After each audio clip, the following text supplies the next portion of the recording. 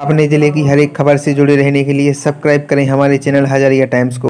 मध्य प्रदेश के छतरपुर ज़िले के दीवानजी के पुरवा गाँव में मंगलवार देर रात दर्दनाक हादसा हुआ है। यहाँ बारातियों से भरी कार कुएँ में जा गिरी।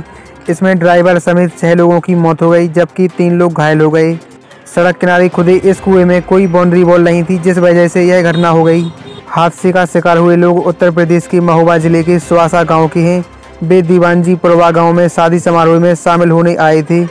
दूल्हे के पिता, हर सहाय को घटना के बारे में पता चला तो उन्होंने पुलिस को सूचना दी। पुलिस ने क्रेन की मदद से गाड़ी को कुएँ से बाहर निकलवाया। पुलिस का मानना है कि अंधेरे की वजह से ड्राइवर ने बैलेंस खो दिया, जिस वजह से यह हादसा हो गया।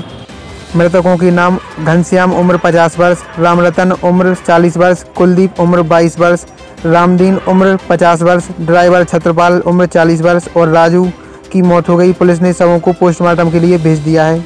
जतन सिंह की रिपोर्ट।